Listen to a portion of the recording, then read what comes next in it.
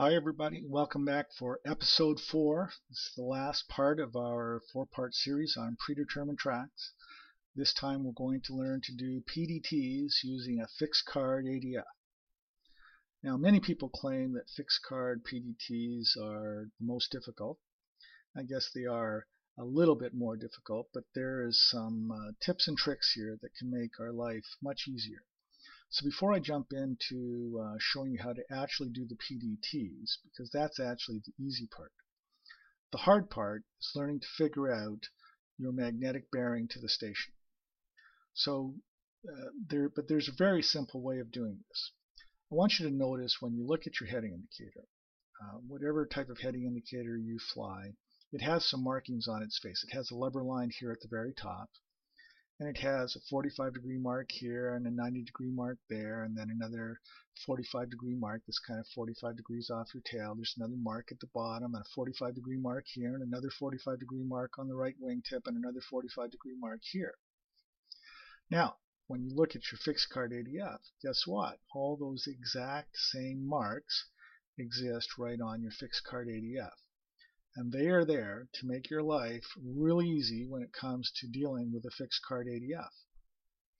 So the first thing that you have to learn to do is how to imagine that this ADF needle is up here on top of your heading indicator.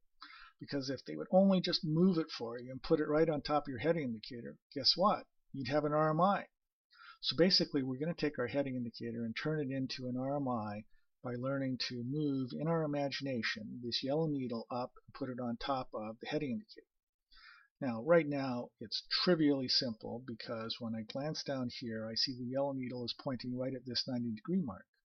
So I just find the corresponding 90 degree mark right there, and, and there it is, and that's about at 099 degrees. So my bearing to the station is 099. Now, if I move the, um, the airplane around, let's say I put it right there. So now we notice that the needle is exactly on the 45 degree mark to your right side. So locate that 45 degree mark up here. There it is, 235. No math. You don't have to, you know, in class you learn how to do your magnetic bearing is equal to your heading plus your relative bearing. So you're supposed to take your heading of 189 and add 45 to it. Forget that. You don't do any math. You just do the math visually. If I uh, put the, the airplane right here, it's right on that uh, that 90 degree mark on the left wingtip. So uh, locate, or sorry, the, the right wingtip. Uh, so locate the 90 degree mark on the right wingtip right here. There it is right there. That's basically 280. I mean, it's probably 279, but trust me, it doesn't matter whether it's 279 or 280. That will be close enough either way. And what if it's in between? Let's say let's say it's right there. Well, just look at it and say, well, it's halfway between those two 45 degree marks. So there's the two 45 degree marks. What's halfway in between right there? That's good enough for me. 305 degrees. What if uh, what if it's right there? Well, I would look at that and say, well, that's about, that's about 10 or 15 degrees past this 45 degree mark. So just come up here and count down 10 or 15 degrees. Well, there's 5, there's 15. So it's somewhere there. It's 340. That's good enough. Uh, what if it's uh, right there, let's say? So I would look at that and say, oh, it's four or five degrees below that 45 degree marker. So I find that 45 degree marker, I look four or five degrees below it, it's right there. That's 140. Simple as that. Okay. So I could do this all night, and it takes only only uh, a few seconds. You know, if let's say it's right there, just look at that and say, well, it's 10 degrees to the right of your tail. So there's the tail. What's 10 degrees right of the tail? It's basically north or 358. Um, so it's really just as simple as that. Okay, so now that you've got that skill, and I would suggest that you practice it, notice that you know using my mouse I can just uh, move the airplane around and around here on this computer simulation and uh, and practice learning how to read my bearing to the station. So it's always just a matter of picking up this needle, locating the appropriate corresponding marker, like in this case 235, and and there you go. Okay, so now we're going to do a PDT. So I click do another, and uh, the computer would like us to intercept an inbound track of 261 degrees. Okay, so 261, that's the desired. Remember the saying that we're, we're dealing with. This is no different than with the RMI that we did in episode 1. So we want to go from the desired to the head plus 30. So the desired is 261. So I find 261 on my heading indicator. I'm trying to imagine my heading indicators in RMI. So there's my desired, 261. I'm going to go to the head. Well, the head, as you can see down here, is 5 degrees up from the wingtip. So there's my desired, 261. I go to my head, it's 5 degrees up from the wingtip. Then I go another 10 degrees, 5, sorry, 10, 20, 30. So it's down in here. I'll call that 215. Close enough? 215. So I'm coming around now to a heading of about 215. Now, as we come around, I have one final piece of advice for you. If you want to make your life easy when it comes to doing fixed card ADF, always turn to a heading that ends in the same number as the track you're trying to intercept. So like right now I've got my heading on the way to 214, but I'm trying to intercept a track of 261. This is not really a good idea. I'm going to change my heading to a number that ends in 1, like 211. Now, when I get around this turn here, I'll show you why that's a smart thing to do. Because now that I've turned around, you can see on the map that this is a good intercept heading, but how am I going to know when I'm on track? Let me just freeze it for a second so we can discuss that. How will I know when I get down here on track? To know that, I have to know what my intercept angle is here.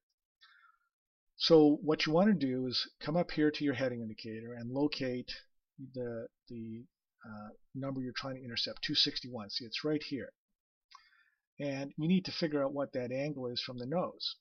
Now, if you have strategically turned to a heading that ends in the same number as the course you're trying to intercept, this can only be a round number. It can be 10, 20, 30, 40, 50, 60, 70, 80, or 90. It can't be anything else. You can't have an intercept like 74 degrees or something like that that's going to be really difficult to do the math for. So you can see here, this is just like just beyond 45. Well, guess what's just beyond 45? It's 50. So we're looking for a 50 degree intercept, in other words, right here on the ADF. So let me start it moving. I'll let it go just a little faster. So as this ADF needle comes down here to, uh, to 50, that's the correct intercept angle. And then I can turn to my heading 261 and I'll be on track. So I've got about 10 more degrees to go. About, uh, about 5 degrees to go right there. And I'll lead it a little bit, so I'll turn just a little bit before I get there. So there we go. And uh, come around to my 261 now. And I should wind up. Your uncle right there with the, uh, the needle on the nose, and I'm right on track. It was as simple as that. Okay, let's do another one together. So click do another. And this time the track we want to intercept is 328. So that's the desired. So I come over here, I find 328. Here it is, 328. Now where's my head? My head is just oh, about 10 degrees past that 45 degree marker, right? So 328 is my desire to come down here. So there's the head right there at about 020 then go another 30, so it's 10, 20, 30. It's going to be right here, a heading of roughly 050. Okay, so I'm going to turn to 050, except is it really a good idea for me to turn to 050? Uh, because the course I'm trying to intercept ends in an 8. So I should either turn to 048 or 058. It doesn't really matter which one I pick. I can pick 48 or 58. I'll pick 48. Let me just speed it up here a little bit to, to save some time so you can see what happens.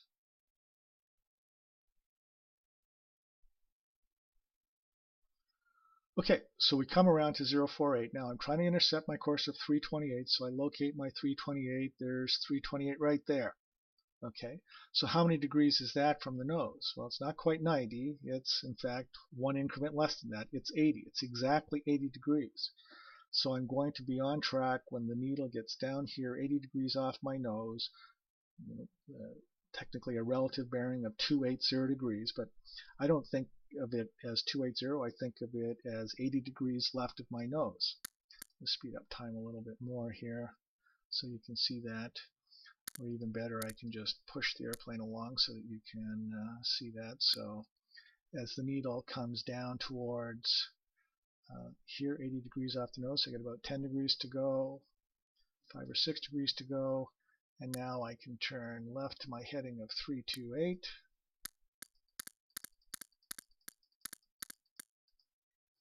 And I was just a little late turning, so I slightly overshot the track, but you get the idea, right? Okay, let's uh, let's hide everything now and see if we can do another one together. So this time we're asked to intercept the track 0, 0, 6 degrees. So I find 0, 0, 6. It's right here. Now where's the head? The head is about 10 degrees short of this 45 degree marker. So here's my head right over here at about 55 or so. Then I go another 30 degrees, so 10, 20, 30 is over here around 85. So I'm going to turn left to 085 ish. Start it going, but while I'm turning, I'm going to give this a little bit of thought, and I'm thinking, yeah, maybe not 085, maybe 086, because that ends in 6, and the course ends in 6. That's going to make the math easier. Okay, we'll just speed it up. Okay, so we roll out on that heading. Now we got to figure out our intercept angle. So I locate my course 006. It's right here. And this one turns out to be the same as last time. We're looking for 80 degree angle, uh, 80 degrees off the nose. Okay, let me show the map so you can see that that's working. So that was just coincidence that it turned out to be an 80 degree intercept twice in a row. Uh, but the intercept can be anything, you know, it'll always be more than 30, should be less than 90, but it can be anything between 30 and 90 degrees using this method. Okay, so that's really not that hard, right? The, the skills, just to recap as you practice this, start by developing the skill of determining where the head of the needle is, uh, just thinking of it as a few degrees off each of these 45 degree markers so that you can locate your head very easily. And then it just becomes identical to the RMI procedure. I'm just going to freeze it here since I'm busy talking and not turning in. Um, so once you're good at, uh, at determining where the head is up here, then a fixed card PDT is no different than an RMI PDT. So if you've been practicing those and you're good at those, you should be good at fixed card PDTs. Uh, so we need to do outbounds now. So let's turn inbounds off, turn outbounds on. We'll click do another. Um, and so it's really the same thing as before, except that to do an outbound predetermined intercept, remember, we need to know where the tail of the needle is because we're doing tail to the desired plus 30. So it's the exact same procedure. Here we look down at the tail and we see it as about being oh 10 degrees below the uh, the 45 marker, so that'd be somewhere around here at 355. If uh, if we were over here, we would say, okay, it's it's about halfway between these 42 45s, maybe a little closer to that one. So halfway between is here, maybe a little closer, maybe 295. You know, if we uh, were over here, we would look at that tail and see, oh, it's 10 up from the wingtip, so 10 up from the wingtip is there. That's about uh, 220 or 222, something like that, and and so on. Okay, so it's uh, it's still very simple uh, to uh, to figure out where you are. You know, this one is about 10 or 12 degrees below the wingtip, so 10 or 12 below the wingtip is in here it's you know it's in the high 240s. It's not quite 250, but if you called it 250, that would be close enough to get the job done. Okay, so let me click do another, and then we'll do a PDT. So this time uh, we've been asked to intercept track 151 degrees outbound. So this time we go from the tail to the desired. So the desired is 151. Now my tail, in this case, is 5 degrees to the right of the nose. So I put my finger there, 5 degrees right of the nose, that's the tail. To the desired, which is over here, 151, so I move my finger to 151. Then I just go another 30 degrees. 10, 20, 30 is 121. So all I have to do is turn to a heading of 121. It's as simple as that. And uh, we'll just speed it up so you can see that that does indeed work. Now, since we went from the desired plus 30, that's just another way of saying that we did a 30 degree intercept. So there's no math required here at all. I'm on track when the tail of the needle comes up to 30 degrees. It's always going to be 30 degrees on these outbound intercepts. So that's super simple. So I'll just move it a little closer so you can see that. So as we get closer, the tail of the needle is coming up to 30 degrees, and as it gets to 30, you're right on track. So I'll just lead it just a little bit. So that's probably pretty close. And so now I turn to 151, which is track I'm trying to maintain. And there we are right on track. Okay, so that was pretty simple. Let's just do another one here. Um, we're not very far off track here, so I'll just move it off just to make this a little bit more exciting. Okay, so the uh, the desired is 161. I look at the tail here and I say, okay, it's about 10 degrees up from my wingtip. So I come up here 10 degrees and so I say, there's my tail. To my desired, which is 161, it's right here. And then go another 30, 10, 20, 30, that's 191.